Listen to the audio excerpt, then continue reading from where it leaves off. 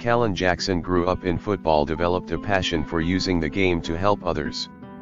Kalen Jackson was born into the NFL as the youngest daughter of Indianapolis Colts owner Jim Irsay so her love for the sport developed at an early age.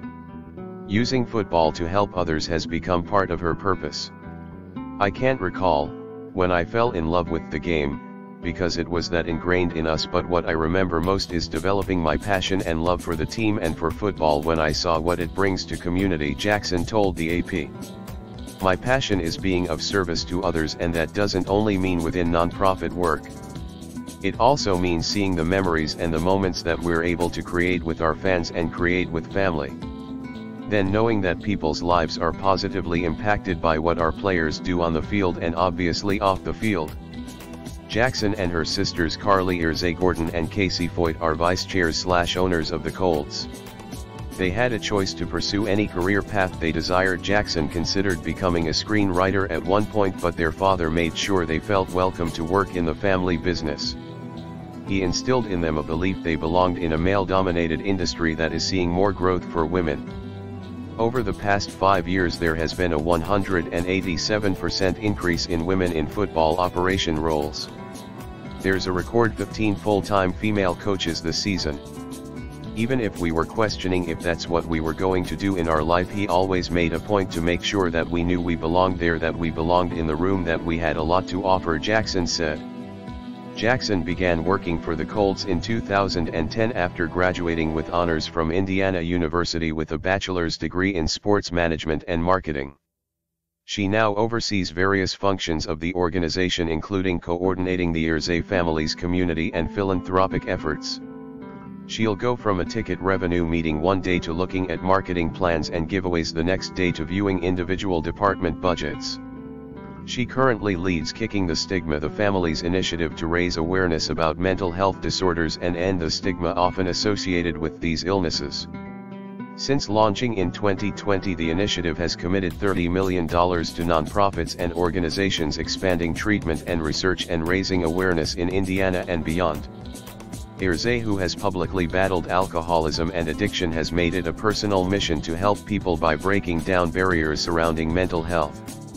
Jackson has talked openly about dealing with anxiety.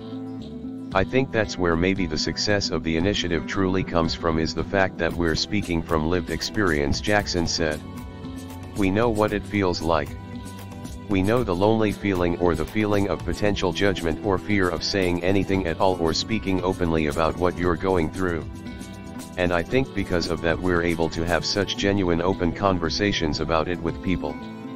The Colts for the second straight year partnered with another team for a mental health activation during training camp teaming with the Arizona Cardinals to raise awareness during their joint practices ahead of an exhibition game. Jackson also hosted a panel for the team that featured Pro Football Hall of Famer Brian Dawkins who has become a major mental wellness advocate after overcoming suicidal thoughts early in his career with the Philadelphia Eagles. The Colts will highlight kicking the stigma and give mental health friendship bracelets to fans attending a game against the Miami Dolphins on October 20th. I think being able to lend our voice and giving a face to an issue letting people in allows more people to have a better understanding and they can feel safe to share Jackson said. As much as I always say we had every resource under the sun and more than we'll ever need in terms of financial support it's still hard. Mental health affects everyone. Jackson also has represented the Colts at NFL owners meetings and is on the league's Employee Benefits Committee. She acknowledges that can be an intimidating setting for the women in those rooms. Always feeling welcome but also in the back of my head especially at the beginning should I be in here. Jackson said.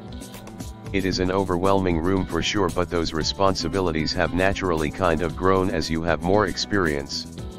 We treated that just like everything else with the sound advice from our dad in terms of being a sponge being respectful.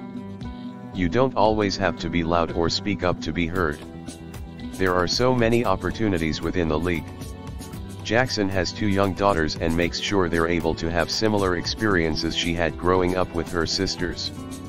Beyond that she and the Colts have embraced the league's commitment to providing women more opportunities in the game. We just have to show girls that they can take that path Jackson said. For me to be able to point to my girls and say that's a female athletic trainer that's a female doctor a female coach that didn't exist when I was in the locker room. I didn't see that as much. But my dad was there to say, no you belong. So seeing more of that it's so encouraging and exciting.